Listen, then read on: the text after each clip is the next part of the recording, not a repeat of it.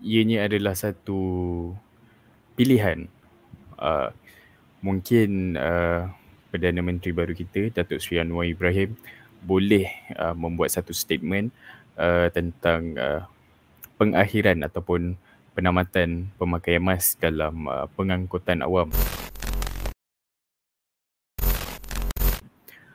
Boleh, tetapi uh, saya rasa ianya masih perlu diteruskan uh, sebab uh, kalau kita berada di dalam public transportation, contohnya bus, MRT, uh, KTM, uh, ianya adalah merupakan satu tempat yang cramped, sempit. Uh, lagi-lagi pada rush hour, maybe uh, pukul uh, sewaktu uh, kita ingin ke kerja ataupun maybe balik kerja.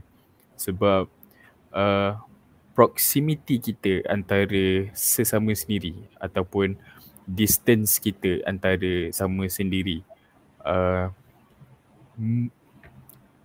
sangat dekat uh, berbanding dalam mall berbanding kat public places uh, di dalam bus train dan sebagainya ni kita lebih terhimpit uh, so kemungkinan untuk terkena jangkitan COVID balik adalah tinggi. So, ya, lebih baik kita kekal berjaga-jaga demi keselamatan kita semua.